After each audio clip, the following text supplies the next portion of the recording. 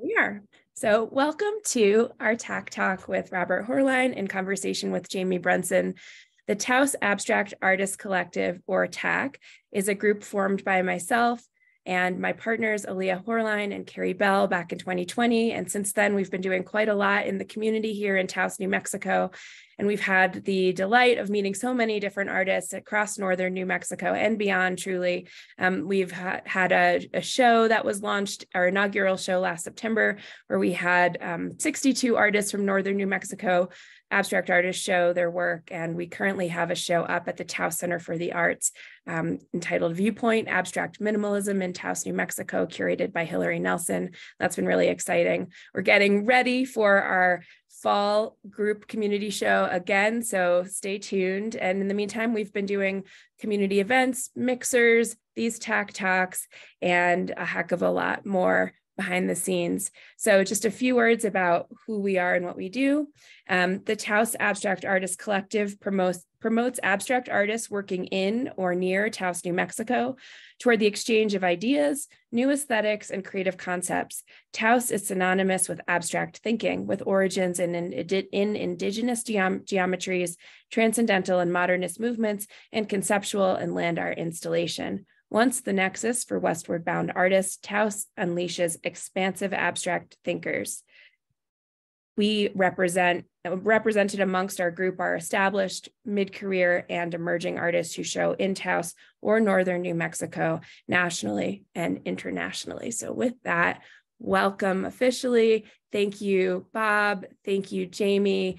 Um, thank you, Mark, and thank you to all of you for for coming today. Um, what the way that this works, and again, in case you haven't tuned in before, it's a little bit different than other types of artist talks or virtual artist talks. So we are going to show a short pre uh, pre-filmed um, segment. It's about 20 minutes long that Mark Smith, our, our in-house videographer, has produced and and has um, filmed and edited. And then we'll have an opportunity as a group here to ask some questions. So I'm going to ask everybody to put your thinking hats on and think about any questions or things that you might be struck by um, in tuning into the, the short film, anything you'd like to ask that maybe wasn't covered. You know, uh, it's impossible to capture everything, although we try to do our best to, to get a very good slice of life. Um, and and we visit artist studios. And so that's what, what that's what we've done with this talk. So mark had the opportunity to visit um, bob in his studio with jamie brunson. And i'm going to get started but before i do that i want to just uh, bob and jamie give you an opportunity to say hello to your audience here and and then we will we will get going Hi, uh, everyone. It's really nice to see some friends here. Thank you for coming. Can you hear me? Yep. Oh, good. It's really neat to see all your faces pop up. There's people, hi, everybody. There's people I haven't seen for a long time, and uh, oh, it's great to see you. So thanks for coming. Fantastic. Well, thank you both again. Um, so I'm going to stop my video and get the, the film set up. Everyone is muted. So please stay that way. Um, and then afterwards, you can unmute yourselves and we can ask some questions. So again, think about things you might be struck by, questions that you have, and please enjoy this conversation.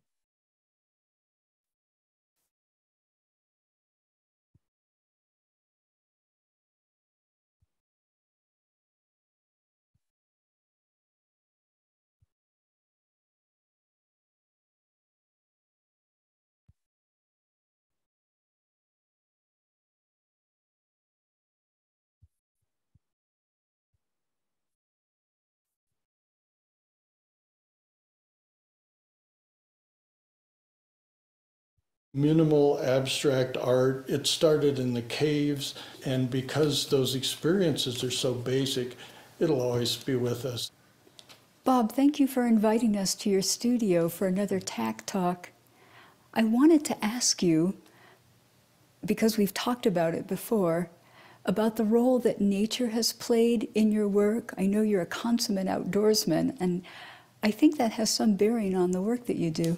Well, it does, and uh, Jamie, I'm really glad that you could come and interview me. We've been friends for years, and uh, and artistic uh, buddies who share a lot of things about our work. And so, uh, welcome. Thank you. And yeah, nature, you know, I grew up in Colorado and the outdoors was a big part of my life. Uh, as a youngster, also athletics. And so the two kind of came together, and I have quite an athletic still, quite an athletic relationship to the outdoors. Uh, I climbed most of the higher mountains up there. I went into unusual long hikes there, and particularly in Wyoming. Uh, nature was always a place of, of, uh, of learning, of calming, of knowing. I just felt like I fit in. Well, you've spoken also about natural systems and what you derive from nature that appears in your work. Can you talk a little bit about the idea of natural systems and its bearing on your paintings and drawings? Sure. It, it's pretty obvious, to, at least to me, that my work is abstracted from nature. And I think I abstract it several steps, especially in the really minimal work. Uh, I started actually as a eight-year-old or ten-year-old painting landscapes and uh, became fairly proficient at that. And then when I went to art school, I decided I wanted to do abstract work, but it always tied back into my feelings about what underlies natural systems. Um, I, to, to use a, a, an analogy that I think is very descriptive, and we might come back to it a couple times here, the ocean. Like on the surface of the ocean is all of what you see. It's beautiful, it's uh, moving. You see those great surfing pictures of the light coming through the wave. But then you go to the deeper depths and it gets different. You go to deeper and deeper depths, it becomes more abstract, more basic. And my interest in art has always been to go deep in the ocean and figure out how things work and then somehow make that into uh, uh, something of art and uh, and I've approached it in a lot of different ways. I think there are a lot of different ways to do it, and I also don't think this is unique. I think actually most of us work that way, although some people's input would be more involving people uh, and culture. I think my in, input involves nature and the the kind of the older history of art. Like I love looking at a Rembrandt, and here's the center of it and I love the way he does the background and the, the grays and the blacks and the browns uh, because that's how it works and that's what makes the figure jump. But I really am less interested in the figure. Well, actually, your, your talk about older work makes me think of, I mean, historical work makes me think about something that you said about using Renaissance space versus flat space, um, which is more typical of abstract work. So you're talking about a kind of a depth of field and a kind of visual layering. Can you can you explain that, especially in relationship to some of the work that we're seeing right here? Yeah. Um, when I went to art school, and I think when you went to art school, you weren't supposed to depict space. Things were supposed to be, if anything, really shallow or really flat. And I struggled with that right away. And I don't know, some artists think the, the ideal thing to do is, is uh, uh, do what they tell you not to do. Well, I didn't really try that, but just naturally I went for deeper space, and it's exciting to me. You can see it in a lot of these things, like the blue one. The deeper space and how you depict that with paint has always really fascinated me, and maybe I'm not supposed to, but I really like doing it. And, and again, it feeds into this idea of discovering how things operate. So you're doing, I think I see a strategy here where you're applying layers of gestures and marks or layers of forms. A minute ago, you talked about the body, not being particularly interested in the body, like the the physical human body, and yet there are these forms in all of your work that that are, in, in essence, they're a condensed body, like an energy body.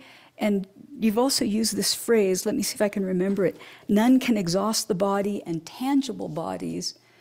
Two phrases referring to bodies to title right. your series. So, can you, can you explain the idea of the sort of energetic body or mass versus the idea of a, an actual physical body? Yeah, I think that's it right there. That if you take any system in nature, a cloud, there's an energetic body there of which the air is moving, the water vapor is doing whatever it does, the wind does, interacts with it.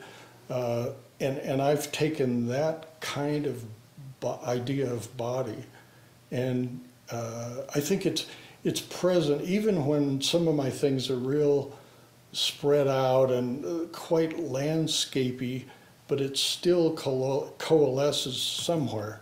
I've, I've never been happy if there's nothing in there. And I tried for years. I know we talked about this before, and you've seen uh, some of my all over paintings. I tried for years to make paintings that didn't have a center of, of uh, uh, that didn't have a center. And I just decided I couldn't do it because they always kept coming back to having some kind of center. One thing I noticed in, in that archival work that you showed me, and it's, that's on your website as well, the, the flat color fields, is that you used the same kind of high key, sweet palette that appears surprisingly in a lot of this work. Because, in a way, I think of this work as being very kind of masculine because of the, the big, broad, energetic marks, um, the things that you call scribbles. So, can you talk a little bit about your, your color choices? Um, yeah, actually, I've, I've, I've come to realize that I didn't understand what I was doing with this for a while, but then I've come to realize that there are the colors that interact in a usually kind of natural way and then there's what I call signal colors. A signal color is something that jumps off the page, and that's an exciting thing. And you can see it in, in a number of these things, things that jump out at you, which you might say is unnatural, and yet I can think of a million things in nature that jump out at you too. What kinds of things in nature is like? Well, the obvious one here in New Mexico, where the sky is the most fabulous sky I, I think it's the best in the world. And the sunset sky jumps out at you. Like the rest of the day, it might kind of be kind of calm and it's blue and it's white and there's these puffy clouds, but at sunset, it blasts you. Uh, of course, also uh, a lot of things about animals uh, jump right out in your face, and uh, yeah, it's it's part of anyway. I don't see that as being so separate from it, but it doesn't blend into the natural landscape. It sort of fights against it. In fact, that's a key element to me that I've I've talked about this thing of irritation. That sometimes I've done one thing and put an orange uh, thing next to it. The the uh, part of the idea is you just can't look at that thing without being distracted by that thing. And so, what about like what about the gestures? Can you can you explain a little bit more about them? About how you do them? Are they are they wrist gestures? Are they full body gestures? Um, how do you know when to stop? Uh, how do they work scaling them up and down? I mean, scale is an interesting question in your work. So scale, yeah, because I do a lot of things that are really small and I think some of my best things are small. Uh, it's it's different. You you know this as a painter how different it is to do a gestural thing that big as opposed to doing it that big. Because here it's like this, and here it's very physical. Um, so the the gestural drawing, you know, it's funny. I started this way back in art school, fifty-ish years ago of making scribbles. I did work based on scribbles in art school, and I didn't even realize that was important to me. I just did it, and it seemed to be important. But now I've really, uh, the idea at first was to draw so fast enough that I couldn't overthink it. Ah. Uh, and then the second idea was to draw with my left hand because it wasn't as skillful as my right hand. Now I've, my left hand is as skillful as my right hand, so that's all kind of gone. But the idea of physical gestures and having it coalesce into a kind of space and sometimes tighter into a kind of a body is pretty basic to all of this. And it just feels right to me to do it that way. Well, I notice it's very consistent across most of your work.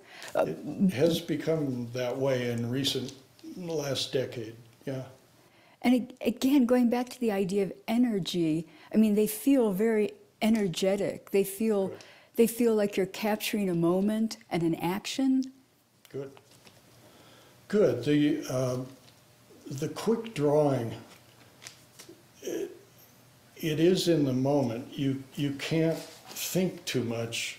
You can't. I, I can't think that fast. So I move, and some of it now I've learned also to do it slower and not think either. And because as soon as you think and, and look at it, stand back, you start making it like, oh, that should be rounded a little bit there, and they need a little more here, and it becomes different. We've talked before, and you've mentioned the idea of minimalism or reduction, and you mentioned something about it a few minutes ago. Can you say a little bit more about that, about the intent of minimalism versus the kind of reduction in those color field paintings that you did that didn't have uh, an object? Because these, to me, they look very full and animated, but again, you've talked about stripping things down or drawing things down from nature and sort of reducing them to their essence. So, how does that operate in your work, that essentialism or that reduction? Actually, I, since we were talking about meditation, it's actually the same thing. What meditation does, you start up at the surface of the ocean and then you settle down, settle down, settle down into yourself and you find quieter, more basic level. And I, I think I'm doing the same thing here. I'm starting out with animals and trees and mountains and sky and all that, and then sort of sinking and letting it. It's funny, it works in you and out of you. And I think the whole learning for me over the decades has been how to how to not obstruct that process. Like I'm, I can find it in me. Yeah, I'm finding it right now. And then how do I put it out into the artwork? Uh, If we can go back to the idea of bodies and that phrase, none can exhaust the body in tangible bodies, I think you told me there was a, a specific, was it Roland Barthes or somebody like that, was a specific source of, it of that was in phrase? that case. But when you talk about not exhausting the body, are you talking about your own physical body? Are you talking about a general collective body? I'm talking about all the bodies that you can't, I mean, this is what I've found when I've been working all this time is that no matter what I do, it always coalesces into some sort of body. And, and I mean, it, other people might not call it a body, but I'm calling it a body because it's a bunch of energy all over the place and then it It's coalesces. And so when you can't exhaust the body, what I'm really saying is you can't exhaust the idea of the body or the truth of the body or the extent or the relate a lot of things. You, you just can't exhaust it. There's millions of them the universe is full of celestial bodies and they're a coalescing of energy you see what i mean Yes, so you look in at your atoms and they're a coalescing of energy and they're a body too do you see a relationship between that way of thinking and meditation practice? Oh, practice? absolutely. Yeah. And I was, I mean, I started meditation early, but I was thinking, I did other practices before I even started meditation. I it was always uh, where I wanted to go. And it was to learn about, I don't know, meditation is basically inward, but you get really inward, and it's the same as the outward. It's all the same. I, like that because my experience of meditation has been that the boundaries between inside and outside tend to dissolve, and then you realize your relationship to all of that. You know, the, but the idea of boundaries is really interesting, and people have been writing about the Vermeer show that's over in Europe mm-hmm. right now, and I've always really looked carefully, back when you could walk right up to him, looked really carefully at Vermeer's paintings. And the thing that he understood is that there is no sharp boundary between your body and the world, uh, and, and, that no uh, border between things is distinct. It's always a little bit blurred. And funnily enough, and I've really thought about this for a long time, that makes it more real. Where if you paint a very distinct boundary, it looks unreal. And I think part of that maybe is optically that our eyes kind of see things a little bit uh, uh, boundaryless. So you're sort of talking about that atmospheric quality in his work. And also, but his bodies, his objects, like he's got this Persian rug laying over something, you look at it really closely and it's just a tiny bit blurry. Another artist that understood that completely was Gerhard Richter. And you remember oh, his right. portraits? Yes. And they were always a little blurry and it makes them more real. And not because life is blurry, but because it's the truth, is that things are not so distinct. It's not because we don't see them correctly and it's not because I can actually see the molecules exchanging with the air, but there's some kind of deeper reality there that we all sense. And, and then when we see an artist, I guess this has a lot to do with artistic process, when we as artists can give back something that the viewer senses, even if he doesn't know what it is, it makes it more uh, uh, profound for the viewer. I, I wanted to ask you another question about the series of work that's called Horizons. Yeah. And part of that has to do with the idea of how you've broken up the expected or anticipated picture plane and how the horizon functions in that practice and what led you to disrupt the picture plane uh, in the way that you have. This is one of my most favorite series of yours that you've the, with, the tilted with the tilted planes, yeah, that you've yeah. you've pursued for quite a while, I think. Well, one of the, there's several ways to answer that. One way is that when you experience and, and look into any natural system, one of the things you come up with is geometry.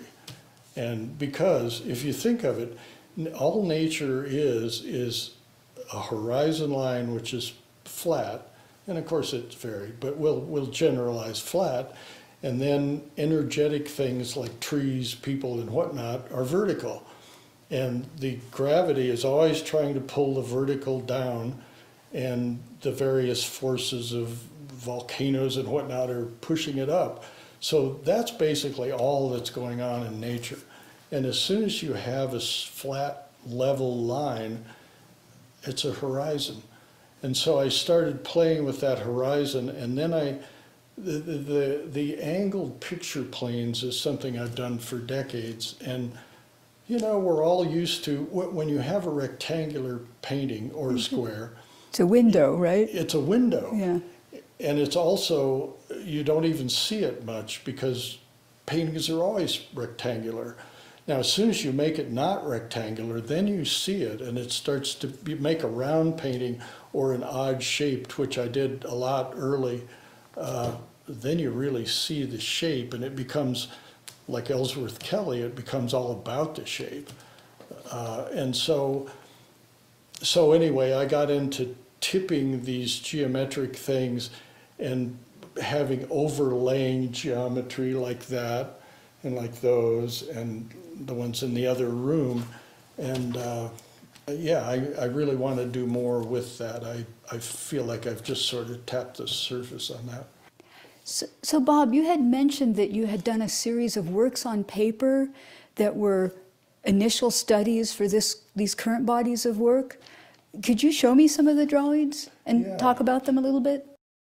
Well, so in this piece, for example, there's the tilted plane, which disrupts that window-like space, and then you talked about Renaissance space and layering in your work, and I see that the function of these dots, which might also be bodies, Maybe. I don't think of them that way. I think of them more as the visual disruptor, like we were talking about. The idea of something that flies off the surface and is It- quite different than this is your deep mm. space.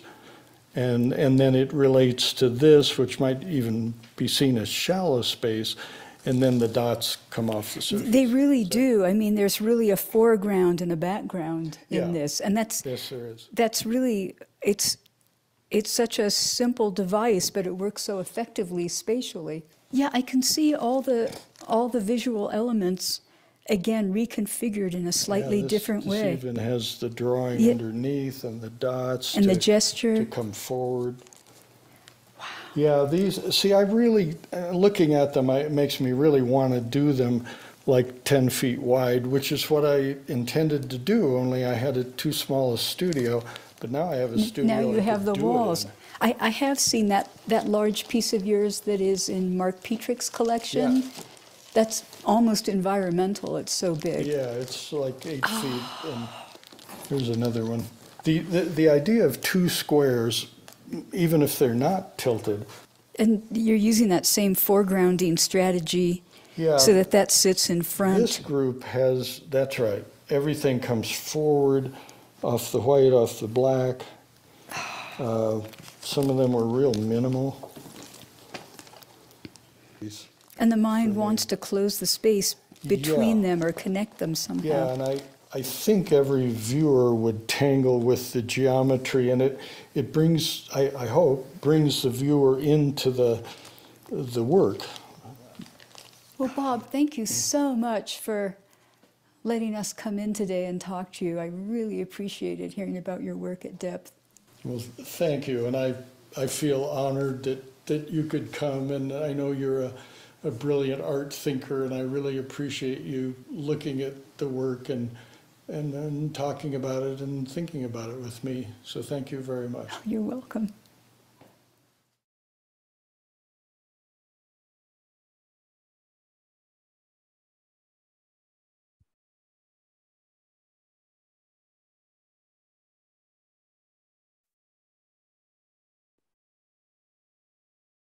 Okay, we're back. Um, that was wonderful. That's great. Um, thank you so much again for both of you. And we'll have, uh, I'd love to just turn it over right now, um, Bob and Jamie, for anything you'd like to say before we jump into the audience Q&A. Obviously, it's so impossible to take you know many many hours of conversation and consolidated into a short period of time so we'll have a chance in this q&a to cover other things that maybe we didn't cover in the video but anything that either of you would like to just say or share about the process before we jump in Well, I'd like to just say thank you, Mark Smith, for doing such a nice job with the video. It was really well done. Thank you. And Jamie, thanks for being there. Oh, it was my pleasure. I especially enjoyed finally getting to see your drawings. That was that was wonderful because I've I've been to your studio a few times and seen the larger paintings in process, but to see where they came from was exceptional. And uh, really, Mark's Mark's uh, guidance in this process, which we had not done before, was really helpful. And the edit is just beautiful. So, Mark, we're, I, you're here somewhere. Thank you for that. He's in there somewhere. We're very lucky that we have an in-house videographer. I'll give everybody Mark's contact information at the end. You can check out um, his other work. And yeah, thank you both. Um, I have something else to mention, which I maybe should have mentioned at the beginning, but um, you know, some of you know this, maybe some of you do not, that Robert is um, the father of one of the founders of the Taos Abstract Artist Collective. And I would I needed to make that known to everybody. Aaliyah, um, Aaliyah, my partner, partner in, in abstract art crime here, um, so so lovely to get to know more of Aaliyah's family and to get to know Robert and to see just how different your art practices and robust both of your you know respective art practices are. It's been a real joy on a personal level. Um, I have a couple of questions in my mind, but I do want to uh, I guess bounce it the ball over to the folks in the audience. So you know, anyone who has a question, please feel free to um, raise your hand, put your um, put some uh, your question in the chat. You can use the little raise hand raising icon in Zoom. And we're pretty informal here, but please feel free to jump in with a question if you have one. Um, and Mark, if you can help me also, if if I can't see folks with a question, feel free to to to, to let me know. Does anyone have a question to start us off?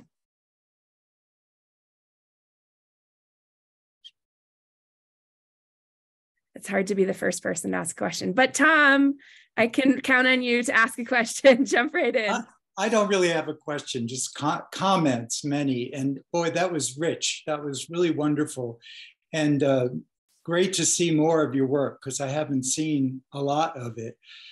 And it's um, it's hard to focus on on uh, one particular thing that I would want to comment to you. But what struck me was you at one point said you were trying to work on uh, uh, paintings that don't have a center, and you said it couldn't be done. Well, I, I don't mean to argue, but I think that these um, these multiple canvases especially the ones that are tilted. And one of the last ones you showed, which was uh, two squares stacked vertically, I do think they achieve what you were looking to do with uh, a work not having a center. Because uh, even though I think of that, the two squares stacked vertically, they're almost like two separate paintings, and yet they're not. First of all, because you're not presenting them as two separate paintings. But what the ultimate piece is has to have both of those things there. But I don't think there's a center. I mean, the, the, the border, again, you were talking about, you know, fuzzing out borders. So these two canvases have a border where they meet. And yet that I wouldn't even call that the center, even though it is dead center on the piece. So that's just a comment, but I'd like to hear what you think about that. Do you think you achieve that centerless in, in these uh, the tilted canvases. I, I love all the work. It's fantastic. But there. well, thanks, Tom. Uh, sure. Tom, sometime when you're down in Santa Fe, uh, let me know and come by and visit. And uh, I'd, I'd love to show you everything that's sitting around here. Um, it's actually an interesting thing that what I really would mostly say about the centerless painting is I didn't feel like I could do it. And yet I have pursued it even, I, I used to pursue it and think about doing it. And now I, I agree with you, actually. I think I have sort of achieved it without pursuing it. Um, it's something that's in there for me. I guess, again, it probably relates to nature that, you know, you look up at a big blue sky and it's really beautiful and it's really uh, rich with uh, life. And yet, unless there's clouds or airplanes or God knows what, it's pretty centerless. And uh, so maybe, yeah, you know, that's a really interesting observation. And uh, maybe I am achieving that. Uh, good, good for me after all this time and not even realizing it. Thank you for bringing that up.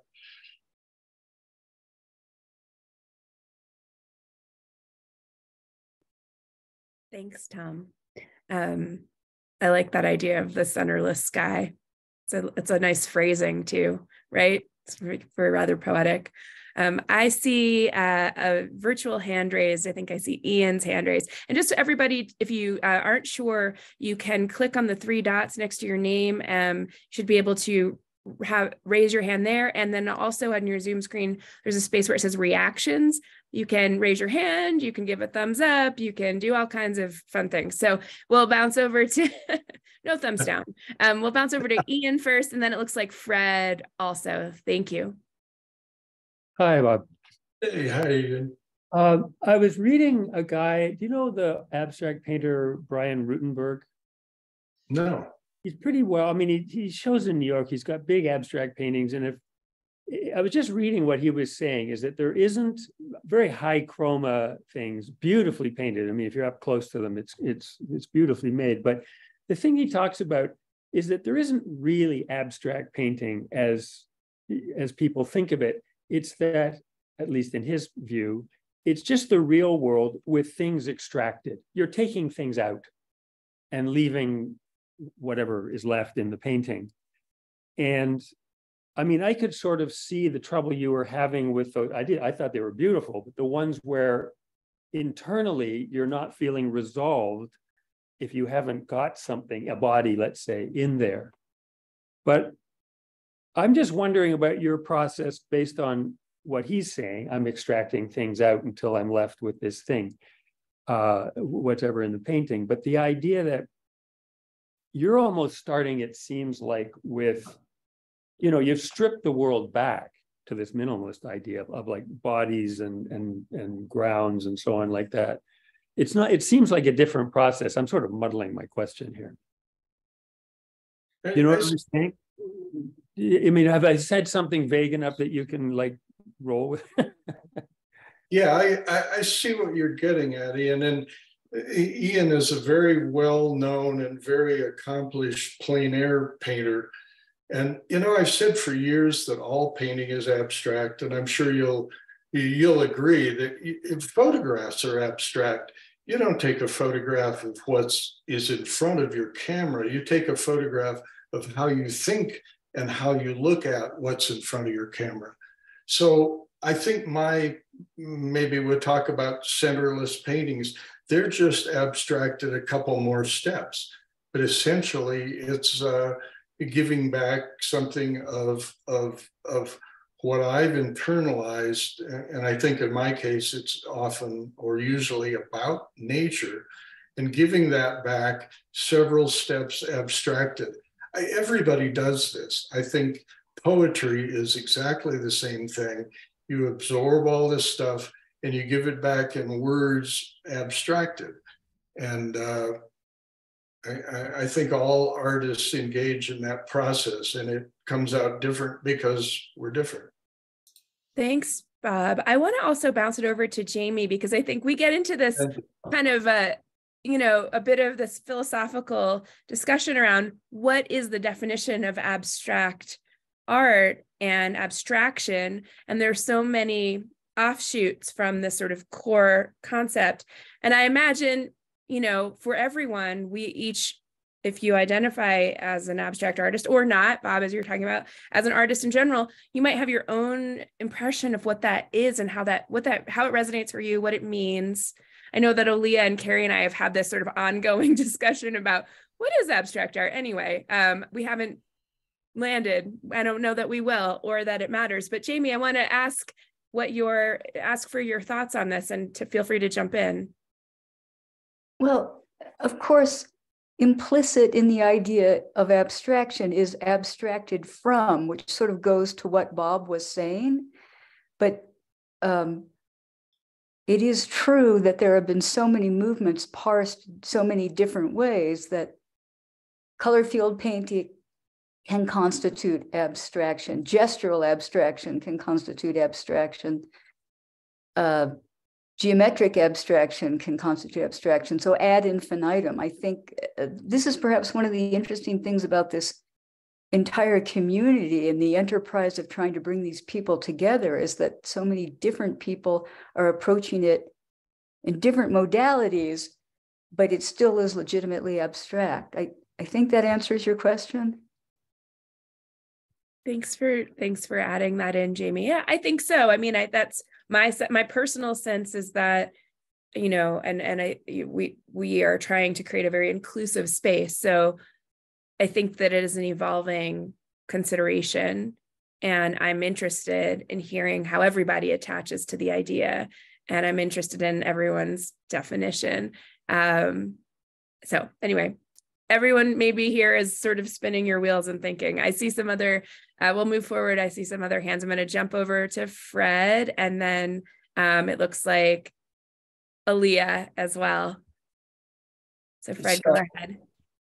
In regard to abstraction, um, like uh, Jamie said, uh, yeah, abstract abstract from is where that comes from.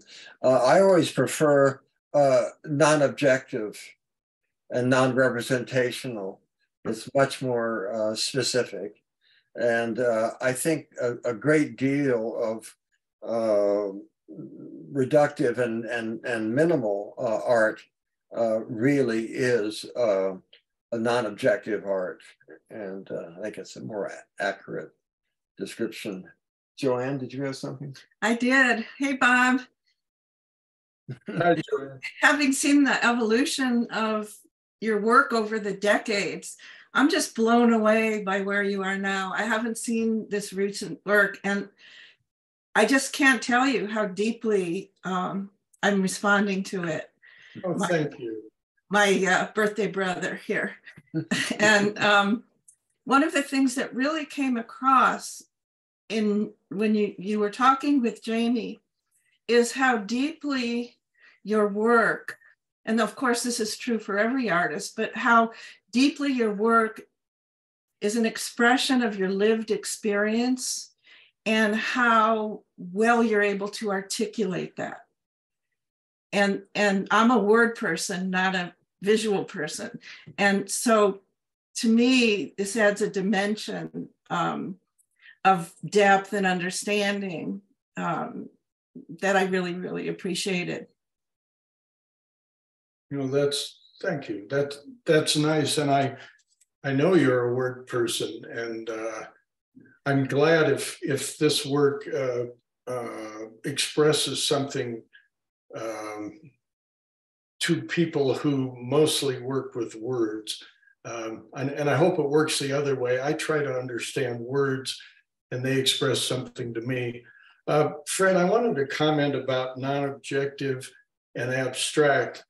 I would say, and maybe I don't understand the terms, or maybe I'm just defining them my way, but uh, my work is not non objective.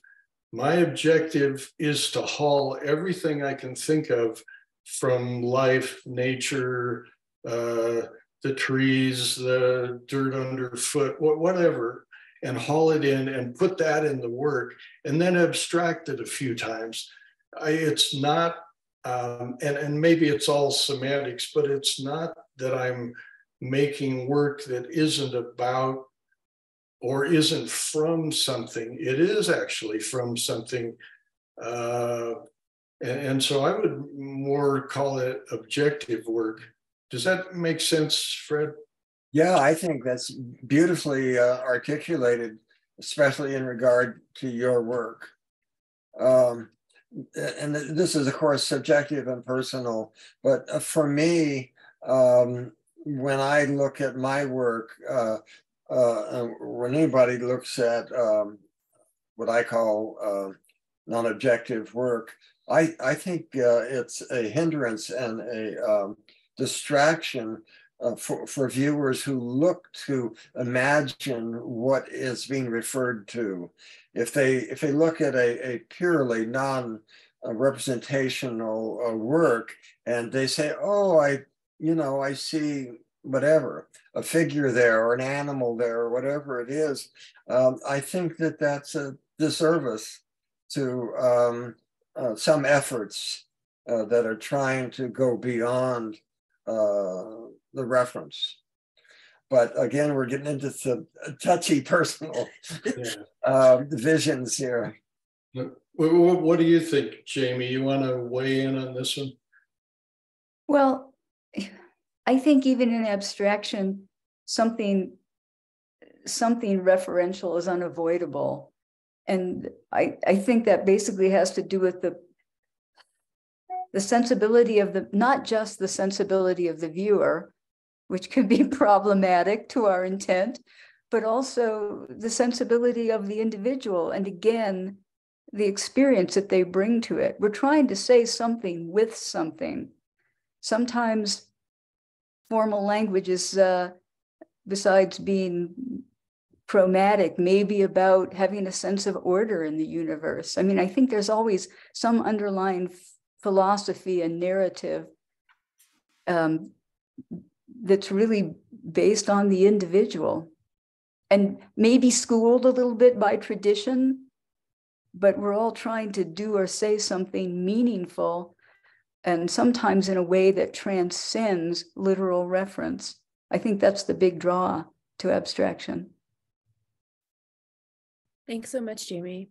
You're welcome. Um, we might need to have another TAAC talk where we all get together and just put our definitions of of abstract art in the mix and see what happens. That would be a fun event, and I think I actually do think that we do that in many ways, many um, many nuanced ways in general. But uh, let's move forward.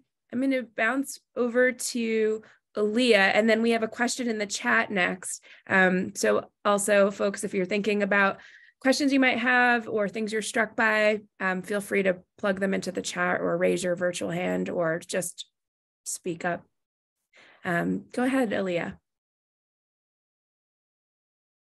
Um, just wanted to mention my sister Anya Lita is also here, and my brother-in-law Zach, and other family members. So it's really fun to see everybody here. It's like a reunion. Um, but I was going to say, Dad, like as long as I've known you, you have always made art. And it's something I'm thinking of as I'm trying to balance life and art. How have you been so successful? And I, I know from talking to you that you sometimes don't feel like you're successful and doing it every day and every week, but you're consistently doing it. If you drop off and go antler hunting, you know, you come back to it. How do you balance all of that? How do you balance your other passions like being outdoors and then coming back to the studio? And it, it's like it's like a long-term goal with you i feel like you know it's it's a it's like meditation it's like a repetition. And there's times where maybe you can't get to it but you always come back to it eventually. And i feel like you're really successful out of all the people i know. How do you find that time and that balance and that that coming back to it how are you so successful in continuing just year after year I know you don't feel that way. Feel like, like I've been so successful, but I've, you know, I've always said, and I know I've said it to you and to Francesca and and, and Anya too, that that the only thing I think I've done right is I never let it die. I always kept doing it. And there were years when I couldn't do much because I had small children, high small children. And uh, you know it takes most of your time. And there was this thing about making money which uh, was something that uh, you know i dealt with buildings and god knows what to try to make some money different kinds of commercial art. Um, but but i feel like for all of us the thing is that the thing that we love to do whether we can make a living at it or not that's one thing but we have to keep doing it. Otherwise, what are we doing here? And even if you do it like two minutes in, in a day, that keeps it alive. That's all. And so it's still alive. And I, I, if, if I didn't feel like I really wanted to do this, honestly, there's plenty of other things I could be doing. Uh, yeah, enough said. Bob, I have to, if you don't mind, I remember in Fairfield when you were driving, you were building and you'd be in your truck and you showed me these drawings. They were about this big and you do them while drawing or while driving. And they were just like scribbles, but there were dozens and dozens of them. Yeah, don't don't admit that. It, it well, you weren't you were watching the road. You told me you were watching the road, but I, well, th- there again, it was actually a way to draw without overthinking it. And I would put the tablet next to me and make these little drawings without looking at them. And believe me, I wasn't overthinking them.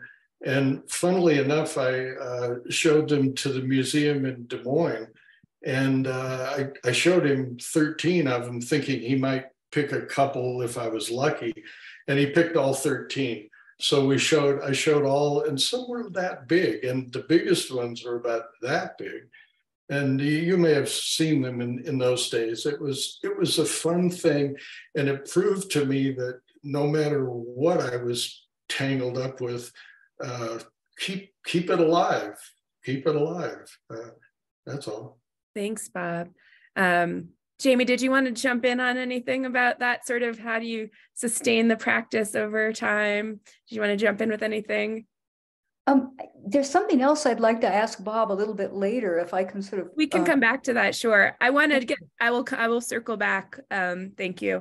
There's a question in the chat, and then I think Anya. Hi, Anya. Um, I will.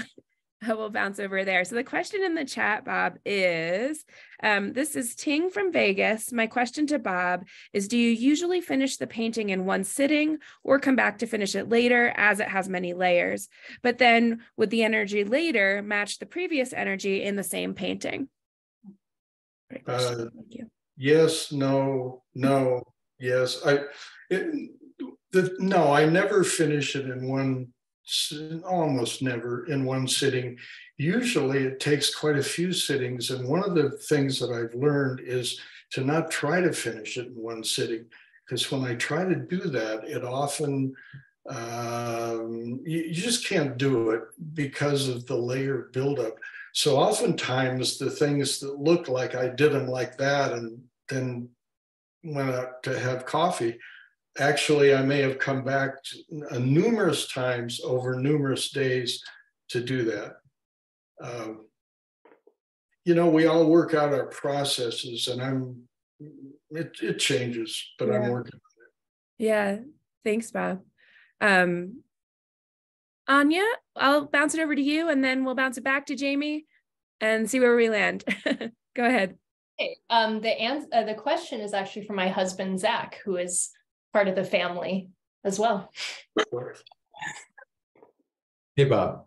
Um, I had, I, I was just thinking about something while I was watching the video. Um, and, and then you just touched on it again just now about getting out of your way, getting out of your own way, um, that you've mentioned a few times. And so I was just kind of thinking about for you, um, you put a lot of thought um, into your intentions, and then you seem to be very uh, focused on wanting to get out of your way once you begin the actual process of doing the work. So it's just kind of curious, um, a few things, but just, yeah, how do you go from setting your intention and then um, just completely almost getting out of the way of the intention or for, do you forget the intention or are you like focused on the intention? Uh, yeah where are you in your internal in your internal monologue as you like take up the brush? You're like setting yourself and just feeling where you happen to go or because you're very again you're you're describing ideas and intentions that are very clear and then the the process itself feels like almost very gut instinct based spontaneous so just yeah just kind of curious uh, to expand more on uh, the actual act of the work moving from intention to the act i guess Yeah, that, that's a good question, Zach. Um, you know, it's a mystery. I don't know. Uh, what- I think on an operational level, and I, I suppose every other artist here will agree that I feel like I'm, I go into it and out of it and into it and out of it. And when I'm into it, I sort of watch my hand and it seems to do the right thing. And then I come out of it and, and, oh, that isn't right. And blah, blah, blah. And then I go back into it. And it's just, um, I, I, I think everybody kind of works that way, but it has, it, it- I, I've tried really indirect ways like drawing in the dark and to try to not see what I'm doing at all. And honestly, it didn't work at all for, for me. It was just like so random. Uh, so there's there's something about it that's not random but yet it seems to be kind of uh, you, you can't like say well you know i'm drawing this and then i got to go down here and it, you get all messed up if you do that it just kind of has to happen uh, I, I do think probably all the other artists here experience a little different flavor of that same kind of and and you Zach writing and Anya writing, you experience it too, don't you? Where you you go in and you understand deeply, and then you kind of come out and go, oh, no, I don't get it. And then you go in again. Do you experience that, Zach? Well, I was going to say, I was thinking it, it's almost like um, directing because, except you're directing yourself. You're like the director, the actor, because you're giving the intention and the action uh, to yourself, and then you're seeing what happens, and then I guess you're reconsidering one. But um, but I'm still curious uh, the inner Bob monologue while the work is happening, and I guess because you know what I mean. Like I'm just kind of uh, I'm just kind of curious, yeah, what you're thinking about because um, when it sounds to me like when you notice you're you're thinking too much is probably I'm guessing when you're telling yourself to step away and reapproach or something. Is that right? Or when you're when you're too aware of what you're doing, I guess. I, I don't know. I do step back, of course, and think about it and realize like that painting above Anya's head there has the black body floating in it. And, you know, at some point I thought, hey, I should put a black oval in that spot.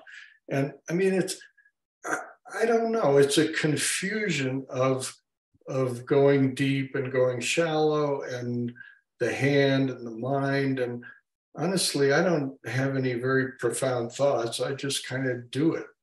Well, what you're talking about kind of sounds like you're in a flow state like you're just in a flow and yeah. you're not thinking about what you're doing when you're in it.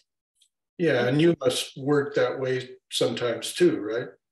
I think that's like the ideal state to be in in any art is to be in a flow state where you're not because the thinking can tri- i find the thinking can trip you up. Yet you need to think. You need the intellect to do things but when you're in the middle of it, it's good to get into that state where you're not thinking. Would you say that you're not thinking when you're just the like what Jamie was saying about the gesture that you're doing? Is that in place of thinking? I don't know. Um, I, I I think I don't understand the process real clearly, uh, but I I know when I'm I don't know. I just walk in there and, and do it. And it, I don't know what I do exactly. I'll, I'll think more about it. What, what do you think, Jamie? How's your, how do you work? Uh, well, hmm. somewhat differently from you, as you know. Um, but I was thinking about uh, what Anya just said about flow states. Um, for those of you who don't know the reference, there's a there's a book by the unpronounceable Mihaly Csikszentmihalyi, which talks about that creative state, which is a flow state, which works universally across any kind of process. I mean, you can be a toy train person and be in a flow state with your toy trains. It's that absolute identification with the moment, the physical material you're working with, where self consciousness leaves and you're just merged. And that's sort of analogous to meditation. So I think that you can't address these ideas without addressing the idea of some kind of a consciousness practice, which can allow you to stop making those kind of sharp distinctions and let you just witness what's being undertaken without the critical evaluation, which is very often a voice an internalized voice from another source and can be very destructive.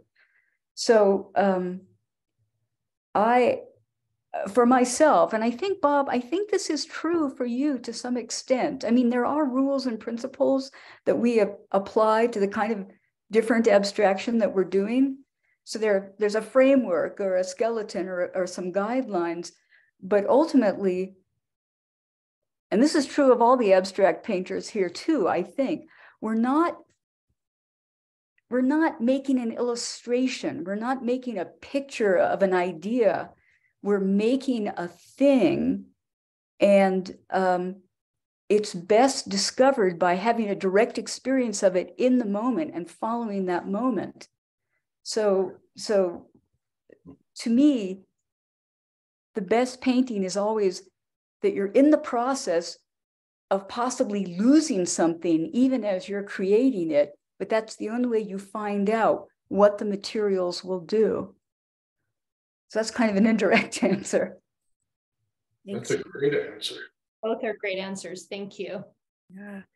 Jamie, did you want to jump in with your uh did you state your previous question? Do you want to jump in with something more something else? I don't want to make I want to make sure I don't miss miss your question. Well, I see Mark has his hand raised too, so I don't want to hog the floor. Um well, go why don't you go ahead, Jamie, and then I will bounce over to Mark right after that. Well, so this is something that uh, Bob and I have had a lot of conversation external to the to the the filmed discussion. And Bob, there is an idea, since we're on the topic of things that are universal to abstract painters and possibly really recognizable to everybody that's on the screen right now or watching this or listening to this. We were talking about the idea of the studio as a private world, which is a laboratory and a refuge and as an extension of the body. And you started to say some really interesting things about that. So I was wondering if you wanted to elaborate on that because it's so relevant. Well, yeah. Um, for me, a studio is, and, and I think we're all like this. Maybe I carry it to an extreme, but I like to haul all kinds of stuff in here. I've got rocks and bones and skulls and antlers and friends like going, ah, you know, I've got a little bit of everything in here. And I don't even look at it mostly, but it's here. And somehow it it feeds me. I I don't know. I just like I like the environment. And every studio I started out, my friend Tony Lawler here. Hi, Tony. Tony always had an architectural office that was neat and orderly. And that was always, I was trying to get there, but I never got there. I ended up with this huge mess of, of all this stuff. And it seemed like such a great idea to be orderly like that. And maybe I, I don't think I'm disorderly, but I'm I'm pretty I'm pretty maximal in that in that way. And uh, I, I guess we all find our our our environment that works for us. well, I just wanted to update you, Bob. Now I work in a complete mess. So. Oh, good, great. I've evolved. or, or devolved, as the case may be. Thanks, Jamie. Um, Mark has deferred his question to David's question. Um, so, David, jump in. Hi, David. Hi, David going. Yes, I'm just unmuting. Um, thank you. Thanks, Mark. Uh, uh, my question was about the flow state or my comment. Um, and I think Csikszentmihalyi talks about two types of creativity, small and big C creativity. And artists are involved in big C creativity.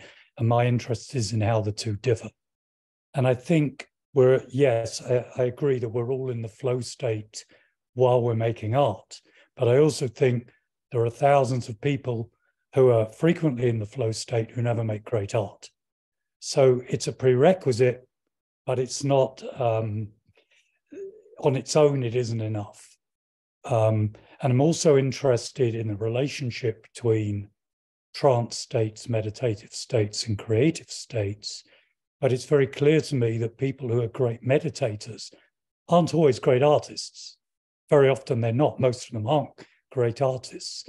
So the fact that one meditates, one gets into a deeper state, which has incredible validity, is tangential to being a great artist. And if we think of the biographies of many major abstract artists, they weren't exactly calm, easygoing, uh, level headed, enlightened people. Some of them committed suicide, some of the greatest, some of them had alcohol problems.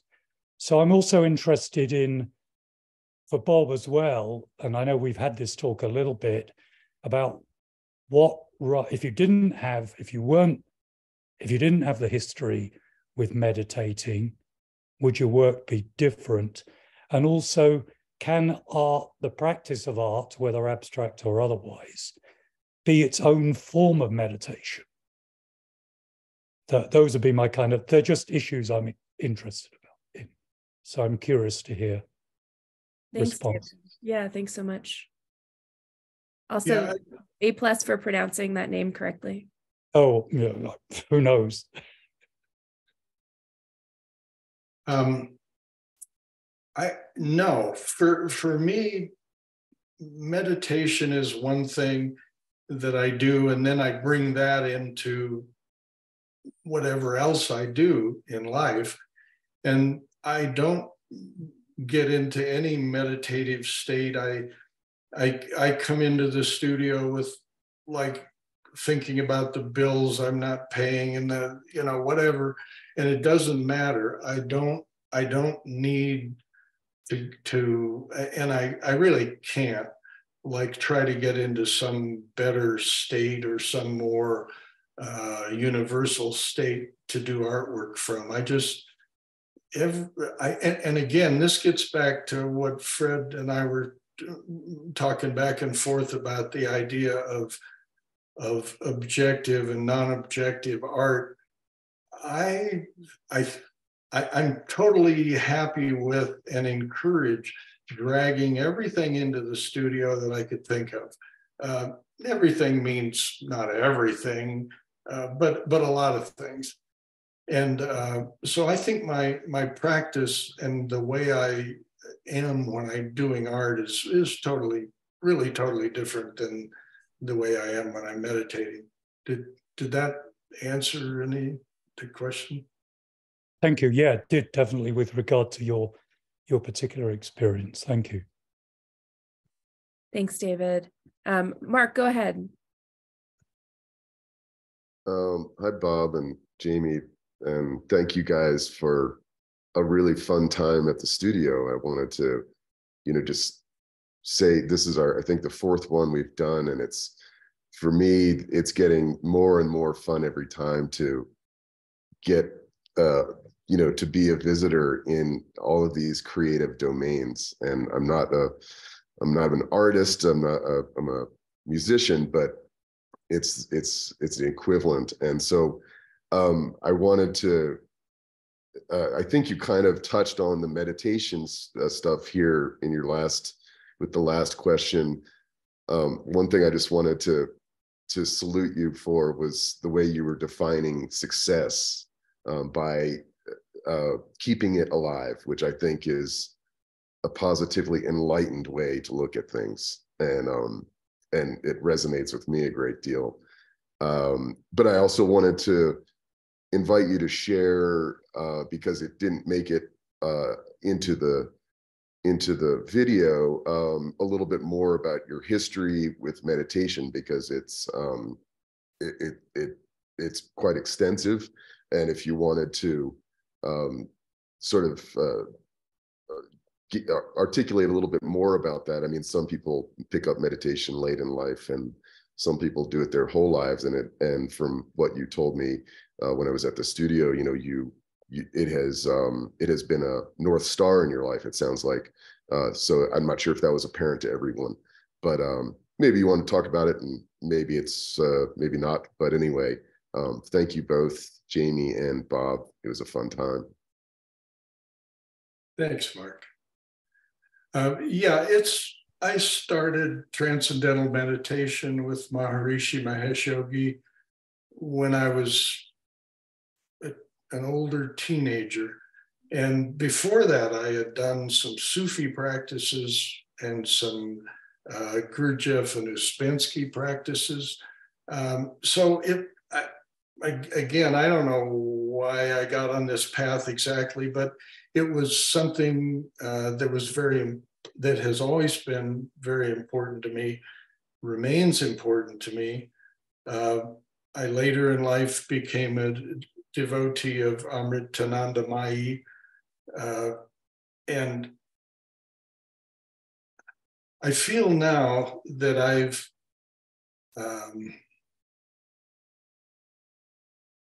I could say my artwork is my religion. Eh, let's leave religion out of it. But I, I just do what I do now. I'm really not. Uh, I'm not teaching meditation anymore. I I often meditate. I sometimes don't. Um, I I just I, I, I, don't know if this, um, I just feel like I'm doing whatever I'm doing and here I am and that's what I'm doing. And that, that's about all. I don't make any claims about anything really. It sounds like you're enlightened fully. Yeah, well, to, to, don't worry about that. Thanks. Thanks. Mark. Thanks, Bob. Um, we're getting close to the end of our time. Um, I had a just an observation that I wanted to offer, and then I want to put some helpful links for everybody in the chat.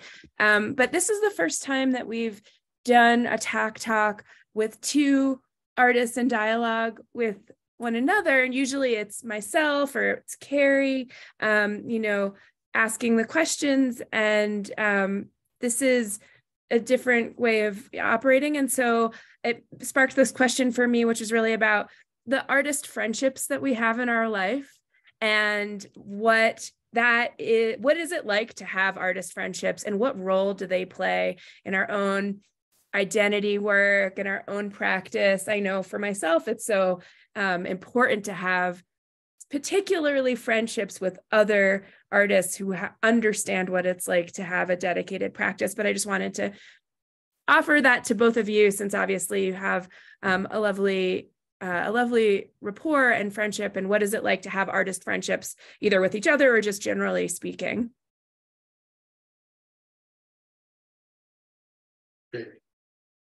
Did, Jamie?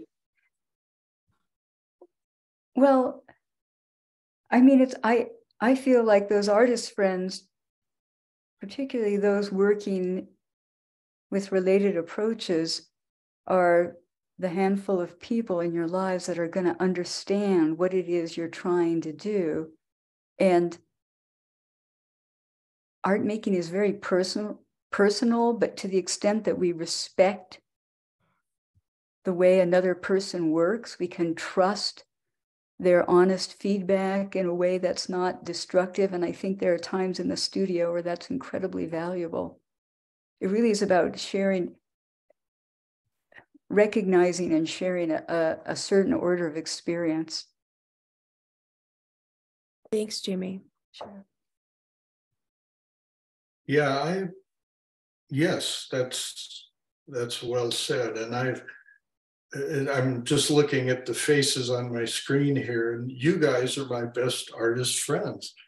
And uh, that crosses over to writers and and uh, uh, cartoonists, Francesca, uh, character developers, and uh, and and I really value each friendship, and uh, and that, that's very important in in my life. And I sometimes I get wrapped up in my own things, and I forget to uh, really reach out, and I just isolate myself. Anyway, I'm trying not to, and I've really enjoyed being in the northern New Mexico art community. I feel very uh, uh, accepted and and I really like all the people that I'm meeting here. And uh, it's a great it's a great place to be and friendship is so important. Thanks, Bob. Um, Thanks, yeah. Um, I think we have well, we're pushing it, but we have time for one more question. I see Tom, your hand raised, and then we'll move into our, our sort of final announcements. Tom, go ahead. Yeah, hi. Uh, I'm I'm glad I'm glad I'm here. Um, I love seeing your work. I haven't ever seen you know the history of of what you do, Robert, but uh, it, it was a wonderful, beautiful body of work, and uh, I just appreciate. It's like wow, here's this guy who's a really good painter. he's out there somewhere in my neighborhood, you know. Um, and Jamie, thank you too. Um, you know, uh, and I something that I wondered is, I kind of might have missed uh, the dating of things. Um, is what's the relationship time wise between the more minimalist works and the more gestural works? Are those works that you do simultaneously, or are they different periods of of life? Um, yeah, Tom, um, thanks for those those comments. I've I've seen quite a bit of your work since in your recent shows, and uh, you're a guy who has done a lot of different things over quite a long time and done them very well. Um, and and I, for me, it's it gets crossed over. I'm actually doing the most minimal things and maybe the most maximal things all at once. Um, don't we all find that we kind of circle around the same stuff and come back to it over and over? And like I'm just doing a series of work now that's based on some photographs that I did in the uh, uh, 2004, five, and six. Uh, and I always wanted to get back to it, but now I'm actually getting back to it. And uh, it just all circles around. And I, I do allow myself, uh, my, my scientist friend uses this expression mission drift. And I do allow myself some studio drift where I'm working on one thing and then I think, well, maybe I'll put a bone next to that painting over there and and what is you know some some drift.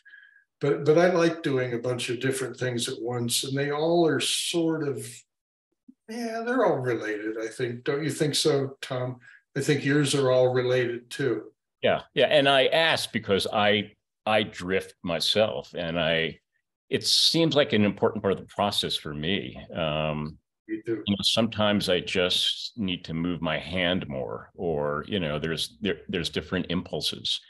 Uh, but I think you know a lot of when I went to art school, we were all kind of trained to the idea that things were very linear. Um, so you kind of if you did something else on the side, you kind of hit it, you know. Um, but I think uh, anyway, I I appreciate seeing you know the range of what you've done, and um, yeah, yeah. So thanks, thanks for the tour. I like I like to see them in person someday if you're ever up for a you know a visit. I'd love to. Um, Anytime, Tom. Just let me know and come over, and I'd I'll come over and see you too. That'd be great. That'd be great. And you know, something, something, you know, actually, I think a lot of interesting points were brought up. I mean, uh, you know during the course of this but um you know the meditation as it relates to the studio is an interesting um thing if you can call it a thing it's not really a thing but you know i think for me i think the way meditation sort of segues with the studio for me uh, is that um, it's like learning to discern um, what's necessary regarding thinking and what's not. You know, it's a way of uh, for me of of um God, I, I, I, thought of it before. I don't know how to say it now, but um uh it's like making decisions in the studio and where do those decisions come from? You know, in a way, meditation sort of unpacks the relationship with thoughts for me. Um, and what's true and what's not true and what might be necessary and letting things kind of move move come into being disappear um, and in a way it's it sort of brings me to a deeper questioning of the decisions i make in the studio or what i feel and where those things actually come from. Um, i'm not quite saying what i think i want to say and i think in part i'm not sure what i want to say but it's something in that nebulous cloud of words just something something like that. Um, Sounds like the beginning of a very enjoyable studio visit between the two of you. Could be. Yeah, I, I, look forward to it. Thank you so much, Tom. Um, I want to uh, just we're at that we're a little bit over time, but I think you know everyone is here and so so delight uh, so delightful in terms of your questions and engagement. So thank you, everyone. Um, Robert, Jamie, thank you for having this conversation and inviting us into that. And um, want to allow you know allow you two to or invite you rather to share any last remarks you'd like to uh, bring to our group here, and then I'll put a few links in the chat. May I may I give a quick plug to Bob's imminent open studio event with Tim yes. Nero? Please, I know. I just I saw that in the chat as well. Well, um, can we have some details about that, Bob? You have something coming up? Sure. Uh, Tim Nero, who a lot of you know, and uh, he and I have decided we're going to do for ourselves what nobody else is doing for us and show all the little stuff that we love that we've been doing over the years. Some of it's like, you know, important little stuff. Some of it's like weird little things that are that big. We're going to pack this studio. We're going to do it here at my studio. Pack this place with uh, hundreds of, of pieces of work that's small and some of it not so small. And uh, we're going to have a big opening on Saturday, June 17th. And uh, I'll, I'll put out information and details, but I hope you all that are local can come and uh, uh, it, you know we're gonna we're gonna really have fun with this and do it in a way that we wouldn't do a gallery show. It's going to be our just our own stuff. That sounds great. Please tell us, and we will post. Uh, we'll post that and spread the word. Yeah, absolutely. Um, I'm putting some links in the chat box right now um, for folks to tune in to other TAAC Talks. Here's our YouTube channel. Also, Bob's website, Jamie's website. And I'd like to also um, let everybody know that again, thank you to Mark. We're really fortunate to, that Mark brings his videography, directing, editing skills to the table here. Um, Mark is interested and available to do artist profiles and other independent projects, you can check out his work at this link, marksmithvideo.com. Um, and if other folks have anything you'd like to announce at this time, any upcoming shows, please feel free to put that in the chat or or say it out loud. And um, and we are always glad at TAAC to spread the word and share information about upcoming shows that people have. We do our best to know what's happening in northern New Mexico. It's a lot, um, so please help us out. Let us know, and we're always glad to to share on social media and include in our newsletter. Um, so does anyone want to share anything out or put anything in the chat? Any upcoming shows you have going on? I know we have so many artists in the room here. We welcome shameless plugs. Okay. If not, just email us um, at Taos Abstract Artist Collective at gmail.com. And um, thank you, Bob. Thank you, Jamie. It's been really wonderful. Thanks all of you for tuning in and your great questions. Thank you, Mark. Um, we look forward to future TAAC Talks. Our upcoming talks are with C. Marquez and Clark Stokely. Those will be coming up later on this uh, late spring and summer. So thank you, everybody, and have a good, peaceful rest of your Sunday evening. Thank you, Bob. Thanks.